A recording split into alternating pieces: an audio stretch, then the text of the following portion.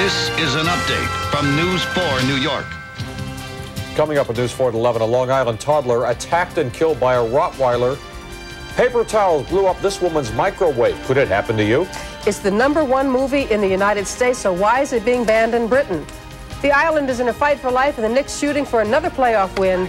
Coming up at 11. 11 points for the team. But it is you. This Up next on News 4, dangerous bacteria trigger a water alert in Brooklyn. A little Long Island boy is killed by a Rottweiler in front of his horrified mother. Atlantic City move over. New York wants in on the casino action. And Charlie Sheen's pumped and ready for action. He talks with Catherine Kinley coming up next. color commentators and